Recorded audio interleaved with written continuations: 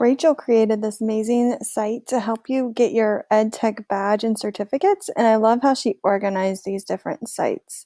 So, what she did is she's got an overview on this first page, and she's got like a first challenge for those that are interested.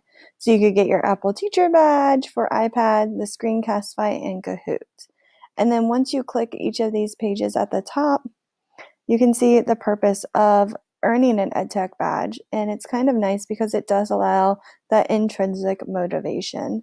And then here are all the badges that teachers can earn. And honestly, when I do badges and I earn my EdTech badges, you learn so much about these different programs. The same with the certification. And you gain a community of people who also are become your PLN and you're able to collaborate on how to use these tools in powerful ways in the classroom. So I just thought Rachel did a fantastic job creating this website.